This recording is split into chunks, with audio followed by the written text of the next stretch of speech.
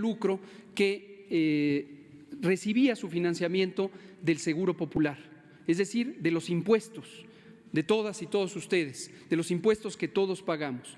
Esta entidad podía dar servicios gratuitos porque lo pagábamos todos. Esto se financiaba con dinero público. Y desde luego ha tenido aciertos en la calidad de la atención que merecen ser reconocidos, pero en un esquema administrativo que precisamente fue característico del Seguro Popular, en donde se hacía gasto directamente de los recursos públicos para el funcionamiento de una entidad privada. Esto eh, no se considera que sea lo más eficiente y en algunos casos tampoco lo más transparente. Y esta es la razón que se ha tomado, eh, por la que se ha tomado esta decisión de ya no seguir contratando a este proveedor, de modo que eh, el nuevo sistema ya no incluye la contratación de entidades privadas. No es nada específico en contra de esta eh, institución. Ahora, también queremos destacar que se acordó oportunamente entre el Instituto de Salud para el Bienestar, que es quien actualmente maneja el financiamiento, y esta institución privada, que se daría continuidad al tratamiento de las mujeres que ya están eh, en tratamiento, en FUCAM. No se suspende ningún tratamiento y lo quiero dejar extraordinariamente claro. Nos parece absolutamente legítima y respetable y atendible la preocupación de las mujeres que viven con cáncer o están en distintas fases de tratamiento, ojalá con éxito.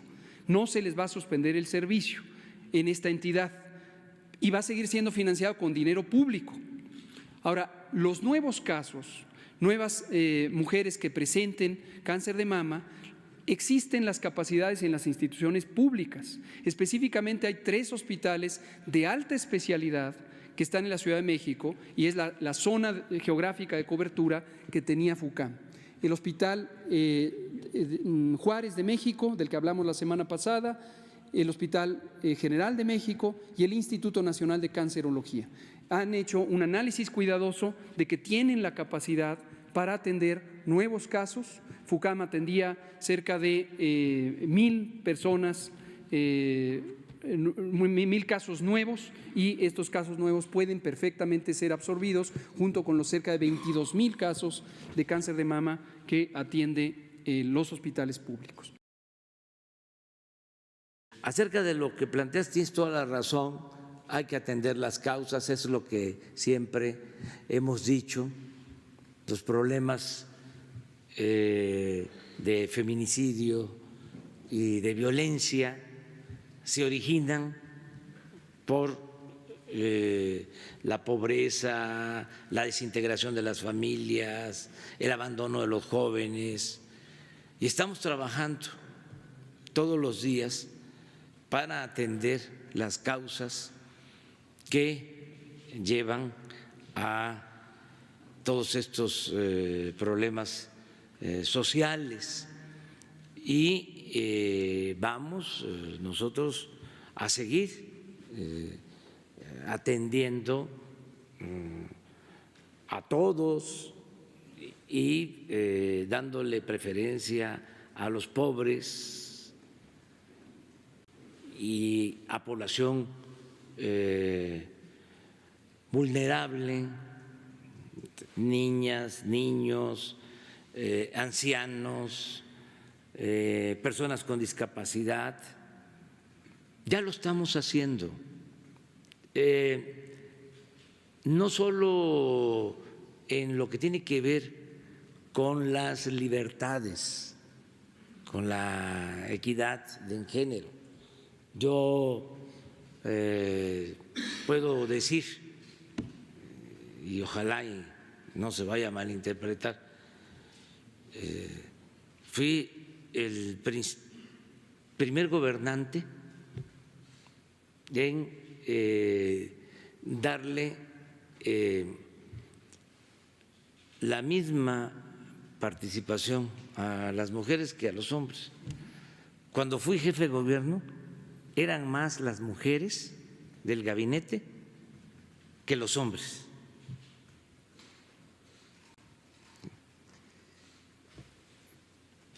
Ahora lo mismo. Yo formé parte de un movimiento cuando estaba en la oposición que llevó a que ahora la mitad de los legisladores sean mujeres.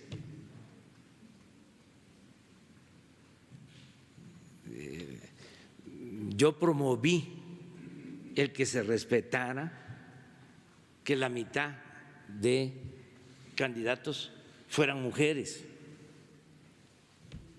Ofrezco disculpas, no vayan a pensar que estoy presumiendo, pero no solo eso, eso es en el plano de las libertades, en el plano político, en el plano social, en el terreno social.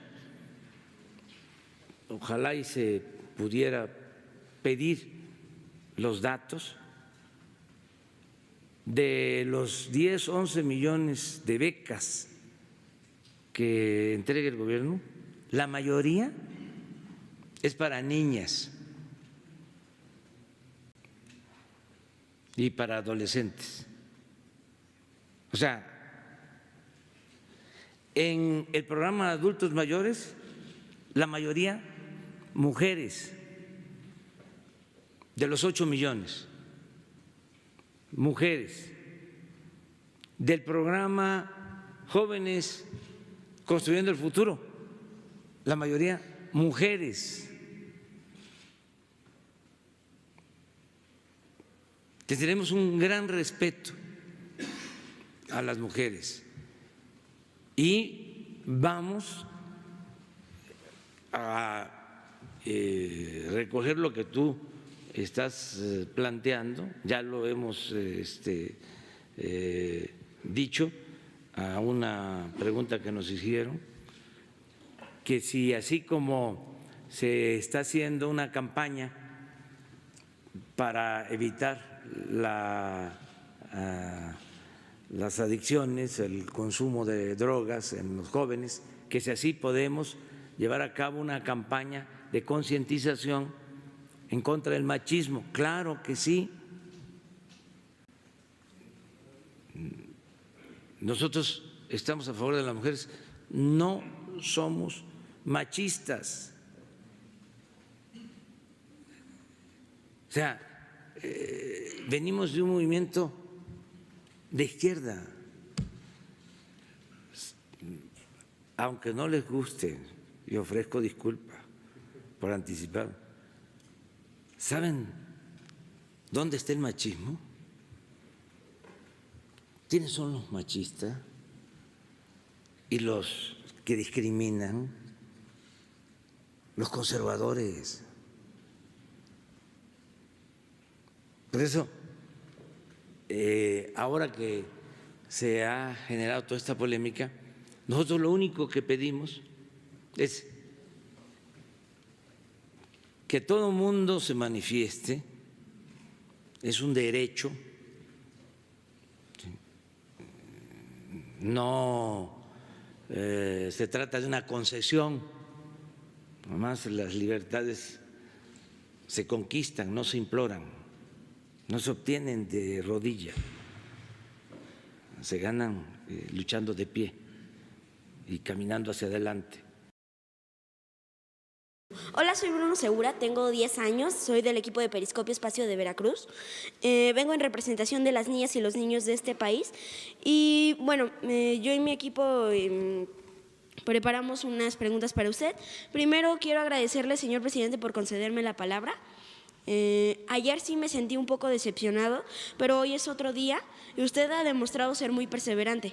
Y yo también lo soy, y por eso es que estoy aquí. Eh, como ya le mencioné, formulamos tres preguntas para usted, yo y mi equipo. Eh, voy a leerle la primera para explicarlo mejor. Yo creo que los niños y las niñas necesitamos más espacios para participar en los medios de comunicación. También creo que nuestro país no está preparado para escucharnos. Se lo comento porque el pasado 31 de enero, por ejemplo, en el único programa infantil en la radio estatal del estado de Veracruz eh, fue suspendido del en vivo eh, sin darnos ningún aviso y sin tomar en cuenta nuestro esfuerzo y nuestro sentir.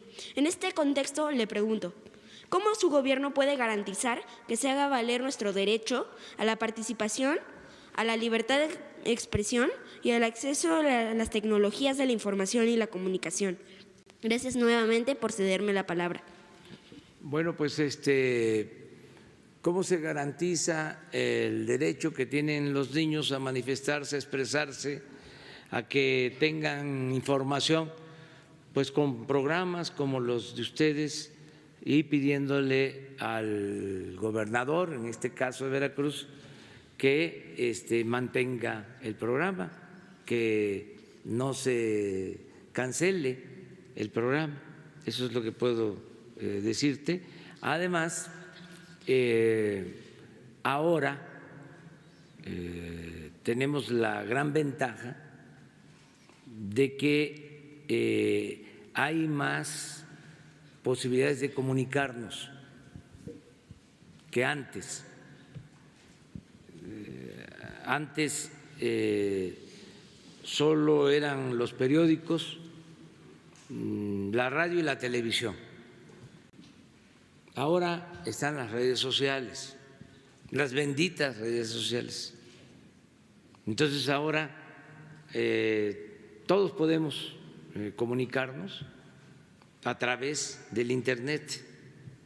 Claro, no tiene el Internet todo el alcance, porque en Veracruz, que tiene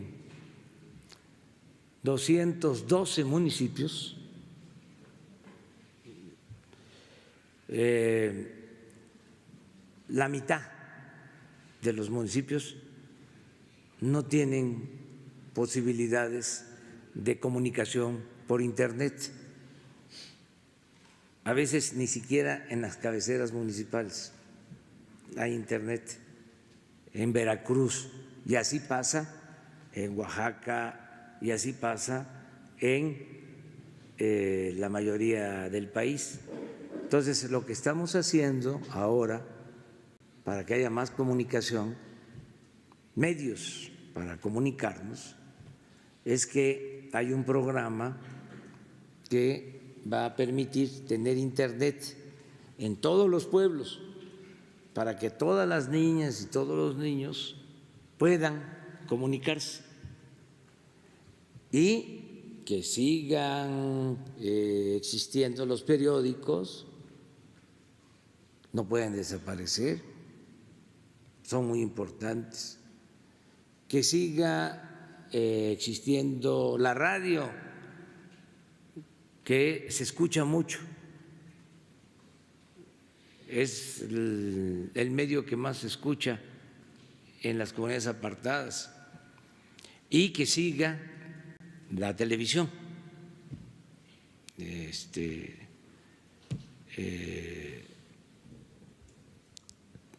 sobre todo la televisión abierta, porque últimamente también promovieron mucho la televisión de paga y no todos tienen posibilidad de pagar el servicio.